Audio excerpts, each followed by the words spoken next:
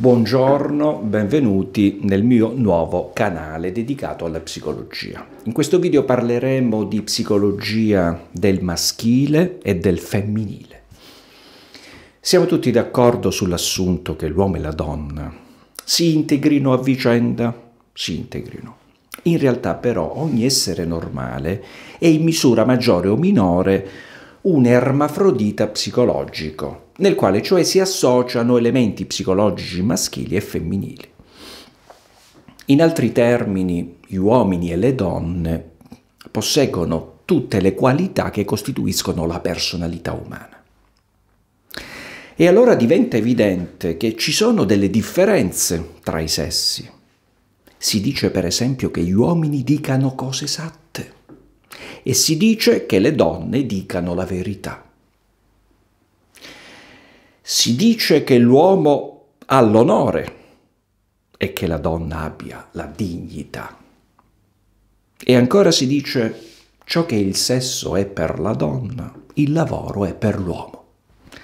E si dice ancora, l'uomo non vive nella sua casa, ma semplicemente vi alloggia, mentre la donna e la casa sono la stessa cosa. Poi c'è un'altra frase che si dice, le donne sono più sensibili al bacio.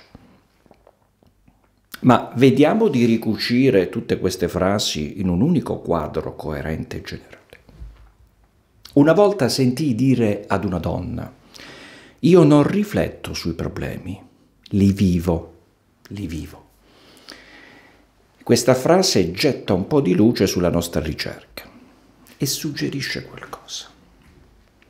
Vale a dire, Probabilmente la matrice da cui trae origine il carattere femminile, la psicologia del femminile, è la funzione di procreatrice della donna, ovvero la funzione di creare e di conservare, cioè quella di generare un figlio.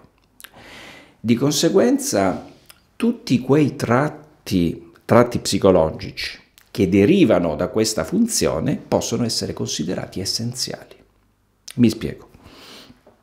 La donna non vive al di fuori delle cose. Non viene a contatto con le cose soltanto quando le cose le vengono incontro, ma una donna è immediatamente, intimamente, necessariamente una con tutte le cose esistenti questa unità, questo essere dentro e non soltanto con le cose, permette alle donne di conoscere queste cose, cose in senso di eventi, di accadimenti, di situazioni e di persone. Mm? Gli inglesi usano molto cose. Dunque, questa unità, mm, questo essere dentro alle cose, permette alle donne di comprendere le cose attraverso una partecipazione alla loro esistenza. Non soltanto dunque per mezzo della ragione o dell'intelletto, ma soprattutto per mezzo dell'intuizione. Per questo le donne scoprono la giusta via, hm? La giusta via in modo semplice, scoprono la verità accettando e respingendo immediatamente e interamente una certa situazione, una certa persona, una certa cosa. Facciamo degli esempi. È opinione comune che le donne non abbiano mai prodotto un vero e proprio genio. Mm? In realtà, però, il genio di tipo maschile è una rara eccezione, mentre la forma femminile del genio è propria di ogni donna è propria delle donne. Infatti, l'unione con la natura, la percezione istintiva delle leggi naturali sono proprio l'essenza del genio, cioè della donna. Ma questa verità, questa essenza, questa verità estratta dal profondo della propria esistenza di donna, non è una verità scientifica raggiunta attraverso un faticoso lavoro di ricerca. No, ma è una verità rivelata. La logica femminile è una logica fondata sulle leggi intrinseche delle cose. Le cose così come sono. Non le cose come vengono pensate. Perciò quella della donna non è una logica tecnica o astratta come quella maschile, che si riduce ad un gruppo di regole sul modo di disporre i pensieri, la logica linguistica. Hm? Una logica, quella maschile, che porti necessariamente da una premessa ad una conclusione.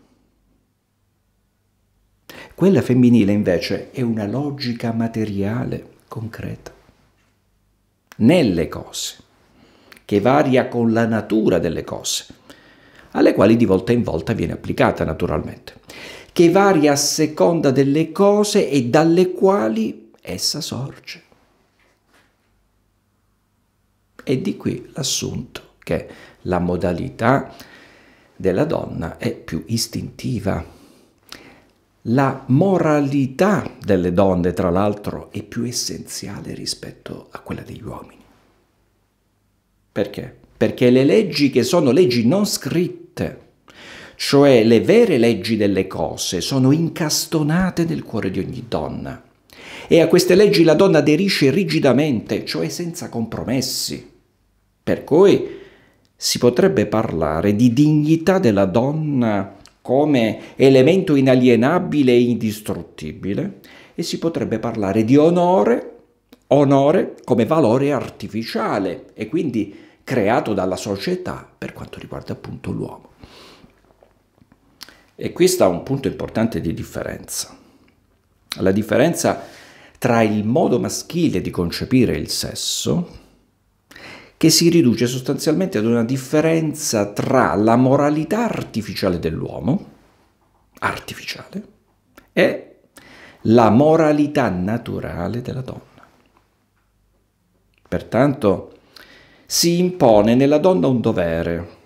Questo dovere pone alla donna un imperativo irresistibile perché proviene dalle profondità della sua esistenza, cioè dalla sua unità con le cose. E questo è il dovere di vivere i problemi attraverso un processo di identificazione, di identità con queste cose. Identificazione. E questo significa che eh, le donne non stanno con le cose, non stanno al fianco degli uomini, ma stanno nelle cose. Fanno parte di un tutto che comprende in sé ogni cosa e questa unione è il loro modo di essere. Non a caso le donne dicono sempre io non rifletto sui problemi, li vivo, li vivo. E a questo riguardo potremmo dire che la logica delle donne esiste fin da principio mentre gli uomini si debbono addestrare, si debbono addestrare a diventare logici. E quindi possiamo concludere che le donne sono creature che esistono, gli uomini sono creature che agiscono. Agiscono perché interpretano, oggettivizzano la realtà, alienando da se stessi questa realtà. E infatti gli uomini pongono valori, valori di riferimento. In questa ottica si possono, si possono spiegare i disagi delle donne nella nostra società, che è prettamente maschile, cioè ricca di valori artificiali. Artificiali.